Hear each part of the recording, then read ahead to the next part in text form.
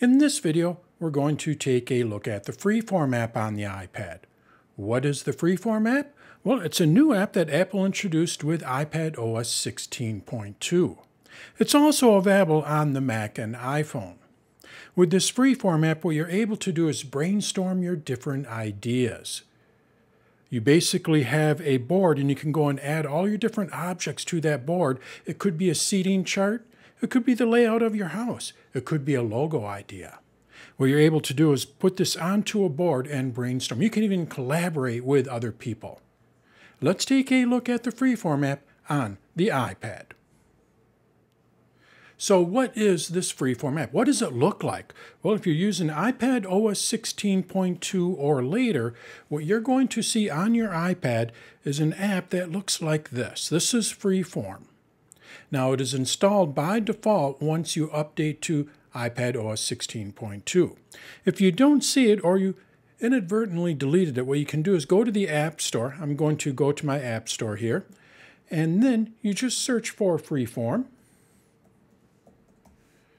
I'm going to hit return, and now we can see we have Freeform here. All you have to do is just download it, and it'll install it on your iPad. So now Let's take a look at what we can do with this Freeform app. What I'm going to do is open up my Freeform app here.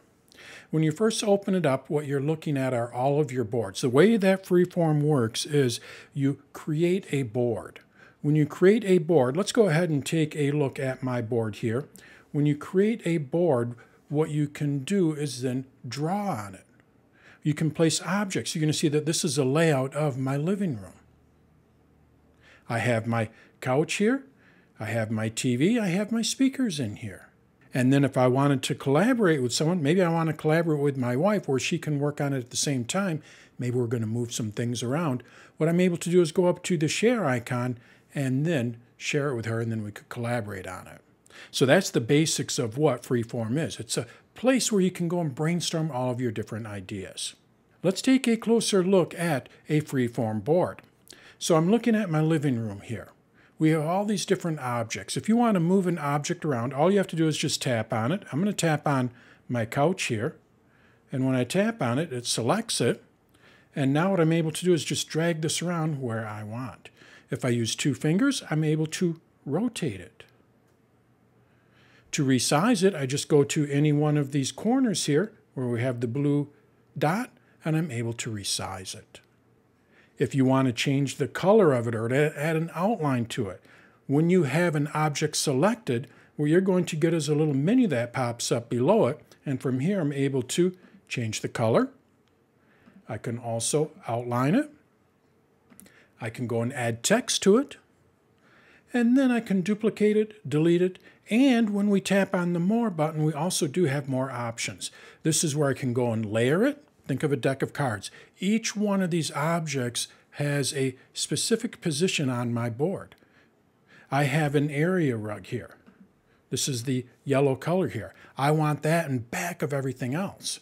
Well, the way that I did that was I went to my More button here and I moved it to the back. I can also cut, copy, and duplicate it. I can lock it. If you don't want it to move, you may want to lock it. I did this with my walls here. These walls I can't move. So I can't select them, I can't accidentally move it. So if you have a permanent structure or a permanent object in your board, you can't move it, you don't want to move it. All you have to do is just go and lock it. You can also auto size the text. I can apply styles, copy the style and apply it to other objects. I can constrain the proportions as well as add a description and delete it. I do this with any object that I have selected. So if I go to my plant here, you're going to see I have the same tools available to me. When I go up to the top, what I'm able to do is add a comment. Click on this, drag it around, and I can put a comment in there. We can also add text. Just click on the A here and we can add text. To format the text, all we have to do is start typing and you're going to see my formatting tools show up at the bottom. So in addition to formatting our objects, such as our shapes, we can also format our text. And then if you want to add images with the camera or maybe from your Photos app or even the Files app, you can do that as well. Just select where you want to add your image from or your file from. Now, when we're working on our boards, what we're able to do is change the view. You're going to see that this view here is 105%. These boards will grow as you add more objects to them. So what I'm able to do is pinch, and we can see that that board is getting smaller. And we're now looking at 50%. So what I'm able to do is actually build out my house here. Let's go and move my common over to the side. I'm going to go and add another shape. We're going to add my dining room. So I just click on the shape. I'm just going to a simple square here. We'll add it. I just drag to get to the size here. Now what I want to do is remove the fill and add a border around it. How do I do that? Well, all I have to do is just select it. You're going to see that I have my fill. We're going to go with no fill. And I go to my border. I can select the thickness and then I can select the color. We're just going to leave it at black. And now I have my dining room there. If I wanted to add a table to it, I can search my shapes. I'm going to go to my shape here. Let's go to the magnifying glass. I type in table. We have table here. Click on it, drag it out. I add it to my dining room. I'm going to rotate it. And I place it where it is in my dining room. I want to change the color. Click on it. Let's go and change it to black. And now I have my table in there. We're going to do one more thing here. You're going to see that I actually have an opening between. Let's go ahead and zoom in here a little bit. Whoops, did you notice what happened there? My dining room moved. How can I prevent that from moving if I want to pinch? To zoom in. You lock it. So now what I'm going to do is undo that. So now it's back where it was. I click on it. We go over to my More button, and I lock it. So now that dining room cannot move. So now what I'm able to do is go in here and pinch, it. I don't have to worry about moving that dining room. You're going to see that I have a little bit of an opening here. What I would like to do is move this line behind that opening. That's a white square. So let's go ahead and click on it. We do have to unlock it to move it. I'm just going to move it back. So I click on it again. We unlock it. And now what I do is move it to the back. We can see that it's behind my white square. And now what I want to do is lock it again so I don't accidentally move it. And now when I zoom out, we can see we have my opening there. I would like to hide this grid, the dots that are behind there. To do that, what we do is we go down to our view here and I'm able to hide the grid.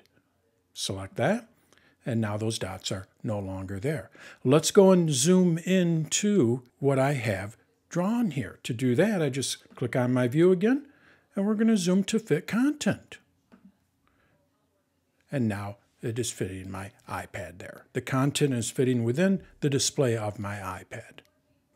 So those are the basics of how we create a board and how we can add different objects to it. If we want to create a new board, all I have to do is just go to the upper right hand corner and I click on the new board and I can create a new board. We can also duplicate our boards. So let's say I wanted to duplicate this board here. I want to create different versions of this. So what I need to do is duplicate it. Well, to do that, what we do is go to the left, we go to our little caret here, and what I'm able to do is duplicate it. I can also rename it, and I can go and unfavorite it. This board is favorited. What does that mean? Well, when we go to all of my boards, we're going to look at how we manage our boards next, you're going to see I have favorites. When I select this, it's going to show me all of my favorite boards. If I want to see all of my boards, not just the favorited ones, I go up to all boards and I can see all of those boards.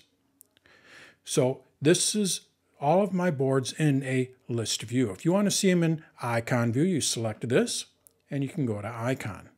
We can also select how they are sorted. We have sort by date and we can select if they are ascending or descending and I can sort them by name. You're also going to notice that they are grouped together by day. So these are all the boards I created today. This is where use groups comes in. If I turn this off, They are no longer going to be sorted by day. And then we also have select. I can click on this and select my different boards. And then from here, what I'm able to do is delete them. And we can also search our boards. Now, the search does not only search the name, what it also does is it searches the content. If we look at the seating chart here, I have my table here with all the chairs. If we look at the text, you're going to see it says seating arrangement. Well, let's say that I'm looking at all of my boards and I forgot what the name of that board was. I know the word arrangement is in there. Well, watch what happens when I type in arrangement. You're going to see that seating chart comes up.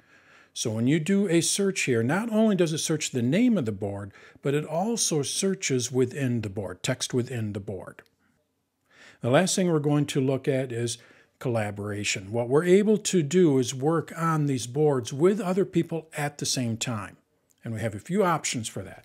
I'm going to go back over to my living room. Let's just say that I wanted to work on this with someone. How can I do that? I want to collaborate with Abigail.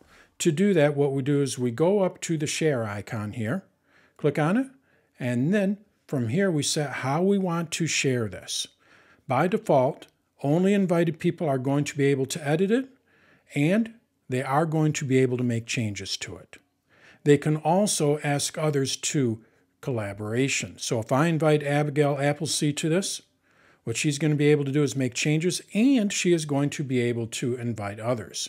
If I want to change it to where she can only view only, I can select this, and now she can only view the board. I'm going to leave it at can make changes, and we're going to leave it would allow others to invite, so she can invite other people. You can change this after you share the board. So I'm going to go back here. I have everything all set, how I want to share it. Now what I need to do is I need to invite people that I want to share this board with. So I select messages, I start typing her name, and when I click on the blue arrow here, she's going to get a message in her messages app. And what she's going to be able to do is open up this board in the Freeform app on her iPad, on her Mac, on her iPhone. And then we can work on it at the same time. If she selects something, I'm going to be able to see that she is selecting it. When she moves to the couch, I'm going to see that couch move on my board. We can work on it at the same time. Now, I mentioned what we're able to do is manage our settings for collaboration even after we share the board. To do that, what we do is go up to our collaboration icon here. And then from here, we go to Manage Shared Board. So let's say I wanted to change it to view only, or what I would like to do is just make it to where I can invite people. To do that, we just select it. I can go and click on Share Options, and then from here, I'm able to make any changes to it. So I can make it view only, and I can make it to where only I can invite people. I can also invite other people here, and I can select what the person can do, what the individual can do. So let's say I wanted Abigail to only be able to view it, but I would like other people to be able to make changes. I could do that. I can make changes to individual people, what they are able to do on that board. And then if I want to stop sharing, I can do that as well. So that's a look at the Freeform app on the iPad. And of course, if you're using the same iCloud account on your different devices, you are able to create these boards and work with these boards on your other devices, such as your Mac and your iPhone. And then if you want to work with someone, all you have to do is just select your board and then share it with that other person. And as long as they have an Apple device, a Mac, iPad, or iPhone, what they're going to be able to do is work on that board along with you at the same time. So that's a look at the Freeform app on the iPad.